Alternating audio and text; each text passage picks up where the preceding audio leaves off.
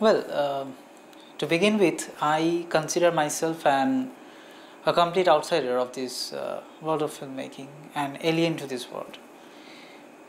In fact, I never thought of making films. I always wanted to teach in a classroom, which I have already done, thankfully. But the bug bit me uh, in uh, my second or third year of college, most probably when Ghajini hit the screen. Uh, I came to know that uh, it's a copy of a Hollywood film called Memento but uh, I wanted to watch Ghajini first, it being an Aamir Khan film.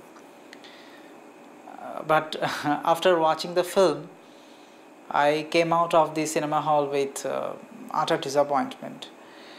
That's when I uh, thought of giving Memento a try. And uh, watching Memento changed me as a person completely it took me to a whole new level of thinking, uh, which was precisely that if a film can be like this, then I too can make a film, or at least I can give it a try. It, was so mathematical and so puzzling that I felt a deeper connection with the world of filmmaking like never before. Uh, and that's when I decided that I wanted to make films.